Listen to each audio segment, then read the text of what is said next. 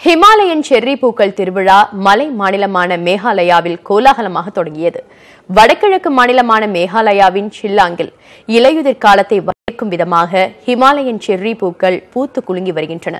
இதனையொட்டி அங்கு சர்வதேச செர்ரி பூக்கள் திருவிழா நேற்று தொடங்கியது. நான்கு நாட்களுக்கு நடைபெறும் இந்த திருவிழாவை மேகாலயா மாநில முதலமைச்சர் கான்ரான் சங்மா தொடங்கி வைத்தார்.